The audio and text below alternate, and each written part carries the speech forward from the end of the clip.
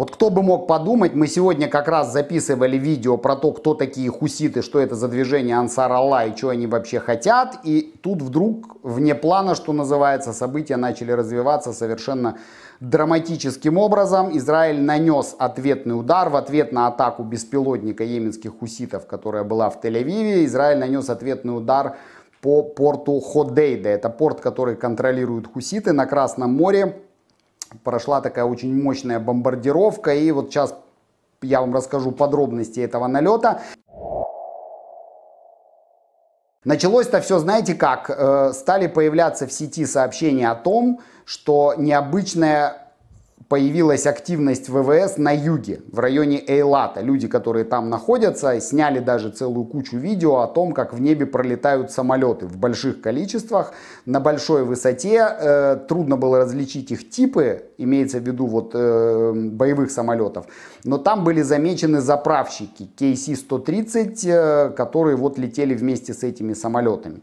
Точнее говоря, заправщики были замечены даже чуть раньше. Вот какие-то рыбаки в Красном море сняли в частности вот видео и фото, как в небе высоко вот летят эти огромные самолеты такие летающие танкеры. С этими самолетами, кстати, отдельная история, которая, в общем, э, развивалась там в отношениях с Соединенными Штатами.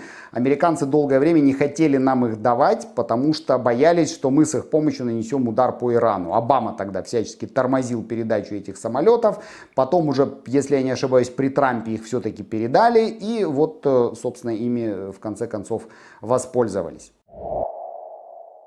Ну и вот в районе 6 вечера начали появляться сообщения о том, что некие самолеты, некие ВВС наносят удары по порту Ходейда. Это, еще раз повторяю, порт на Красном море, единственный йеменский порт на Красном море, который контролируют хуситы. И вот по этому порту начало вдруг прилетать, причем очень сильно и мощно. Были разбомблены нефтехранилища в порту. Ну вот, собственно, фотография, которую вы сейчас видите на мониторе, да, это вот горят нефтехранилища в Хадейде. Были разбомблены танкеры, которые стояли в этом порту, разбомблены склады боеприпасов. Удары были также нанесены по электростанциям, которые... Э, в Хадейде расположены, сообщают о большом количестве убитых и раненых. Кто там убит и ранен, мы пока не знаем, э, но, в общем, э, они там есть, учитывая вот мощность и плотность ударов. Судя по всему, события развивались так. Самолеты взлетели с какой-нибудь авиабазы Рамон, я так полагаю, где, в общем, или с базы э, Неватин, той самой, которую когда-то обстреливали иранцы, и взяли курс на Йемен. Где-то посередине пути над Красным морем они дозаправились от вот этих летающих танкеров KC-130, после чего приступили к бомбардировкам. Во всяком случае, на момент, когда я пишу это видео, э, пишут о том, что есть сообщение о том, что э, самолеты все еще в воздушном пространстве Йемена. Крутая йеменская ПВО, конечно, ничего там не заметила и никого там и, и даже не пыталась обстреливать, несмотря на то, что хуситы там регулярно сбивают какие-то американские беспилотники. Но одно дело беспилотник, а другое дело F-35, которые, судя по всему, использовались для этого налета. Самолет летит на высоте там, километров 10, оттуда разгружается, цели там заранее разведаны. В общем, короче говоря, у хуситов в смысле защититься ничего не получилось. Таким образом, Израиль привел в действие свою угрозу. Угроза заключалась в том, что после прилета беспилотника по Тель-Авиву было сказано о том, что э, ответный удар обязательно будет нанесен, что это не останется без ответа.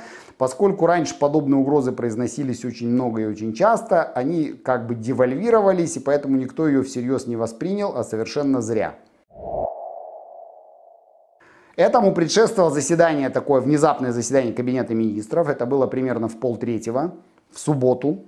Напоминаю, да, это такое очень необычное явление. И э, э приглашали туда министров от имени главы Совета по национальной безопасности Цахи Анегби.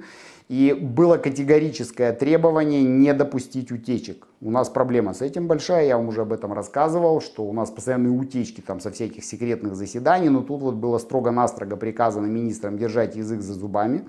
И заседание длилось там порядка 4 часов. И э, изначально рассматривались разные варианты. Какой-то точечный удар, разбомбить какой-то один объект, просто вот обозначить намерение. Ну, вроде того, что было в ответ на иранскую атаку. Снесли радар в Исфахане и все. Но здесь э, министры настояли, премьер-министр в частности, настаивали именно на масштабной и значительной атаке. на том, чтобы сделать хуситам очень сильно больно, для того, чтобы отбить у них охоту. Охоту это, конечно, не отобьет, но Израиль как минимум показывает, что он вот в состоянии проводить такие операции за многие там сотни, если не тысячи километров от своей территории. От Йемена до, соответственно, Израиля там порядка полутора тысяч километров. И вот эта атака была проведена. И было принято решение атаковать именно нефтяную инфраструктуру хуситов, потому что доходы, которые они получают, завязаны на нефть. Это возможно, служит своего рода предупреждением Ирану, что по его нефтяной инфраструктуре тоже может быть нанесен такой удар. Это, во-первых, всегда очень эффективно и очень эффектно. Смотрим вот на эту фотографию, да, выглядит это все пугающе. Как кто-то написал в комментариях под этой фотографией Дракарис. Это вот отсылка к э, сериалу «Игра престолов». И, в общем, такой получается довольно сильный психологический эффект. Пишут, что участвовала одна эскадрилья в этой атаке, это мы точно не знаем. Как правило, такие атаки не проводятся силами одной эскадрильи. Обычно есть атакующая группа, те, кто наносит удар, вот как-то по опыту а, атак ВВС Лихтенштейна в Сирии, и прикрывающая группа, которая держится выше в другом эшелоне, для того, чтобы в случае чего, если пойдет атака с земли, ПВО, либо появятся самолеты противника, можно было бы их как бы атаковать и перехватить, э, но атак с земли не было. Судя по всему, йеменские ПВО, вот эти, как я уже сказал, радары просто ничего не увидели, а ВВС у хуситов нет. У них есть какие-то вертолеты, есть даже самолеты, но это все, конечно, ни о чем. И понятное дело, что это никак не, не могло помешать действиям израильских ВВС. И служба, э, пресс-служба израильской армии опубликовала свое, как бы, свой пресс-релиз, в котором говорится буквально следующее. То есть Израиль официально взял на себя ответственность за эту атаку. Говорится следующее. В ответ на сотни атак на Израиль за последние месяцы а атак, я э, напоминаю, было больше 200 со стороны хуситов только. В основном они все приходились по Элату, все были перехвачены, кроме одной ракеты, но тем не менее вот э, их было две сотни. Самолеты армии обороны Израиля нанесли удары по военным объектам террористического режима хуситов в районе порта Хадейда в Йемене. Нет изменений в указаниях командования тылом. Подробности будут, ну, как бы разные там подробности будут позже. Так что вот так примерно это выглядит. Израиль решил больше не разбрасываться угрозами вот такими вот пустыми, а привести их в исполнение. Это будет и предупреждением Ирану. Вот смотрите, что будет с вашей нефтяной инфраструктурой, а может быть и с ядерной инфраструктурой тоже. И вот что будет, собственно, вообще со всеми по периметру, кто поднимет на нас руку. Вот такой вот теперь у нас подход. Ну, будем надеяться, что так оно и останется. Американцы говорят, что они вообще никак в этой атаке не участвовали, они вообще к этому не имеют никакого отношения, хотя изначально писали, что самолеты израильские дозаправлялись от заправщиков западной коалиции. Ну, э, то есть это американские заправщики центрального командования. Но, судя по всему, это все не имеет как бы никакого, э, как сказать, никакого подтверждения. То есть Израиль обошелся своими силами. Кроме этого, произошла такая довольно интересная вещь. Накануне э, генерал Курилла, это командующий центральным командованием США, но отвечает за Ближний Восток, написал письмо в Вашингтон, в котором он сказал следующее, что, ребят, так воевать невозможно что то, что мы делаем по восстановлению судоходства в Красном море, это полная абсолютная херня. Мы только обороняемся. Тогда как нужно наступать. У нас достаточно сил, у нас есть возможности, но вы, писал он в адрес чиновников из Белого дома, не даете нам вообще нормально воевать.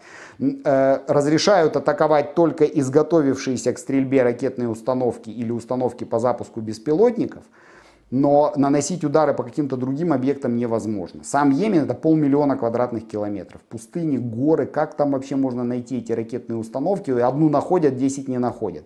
И Курила настаивал на том, что нужно что-то сделать. Возможно, вот по согласованию с американцами решили провести такой масштабный удар, чтобы показать хуситам, что с ними будет, если в этом еще примут участие Соединенные Штаты, там британцы и так далее и тому подобное. Теперь вопрос еще, конечно, в том, как это все повлияет на кипучую деятельность хуситов, их пиратскую, да, по обстрелам кораблей в Красном море. Я, кстати, напоминаю, что Россия собирается передать им противокорабельные ракеты.